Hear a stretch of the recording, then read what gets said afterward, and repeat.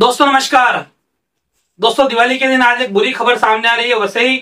पूर्व से, जहाँ वसईपुर अंतर्गत सातीवली से, सातीवली कब्रिस्तान के पास की एक कंपनी में आग जनी हुई है और तेज बड़ी भीषण आग वहाँ लगी है। आप वीडियो में, तस्वीरों में देख सकते हैं किस तरह से आग की लपटे आसमान छू रही है और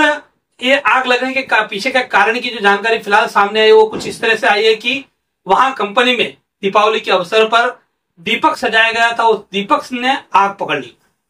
इस आग में किसी तरह की जनहानि नहीं हुई है, लेकिन लाखों के माल का पूरा नुकसान हुआ है, वो आप तस्वीरों में, विजुअल में देख सकते हैं।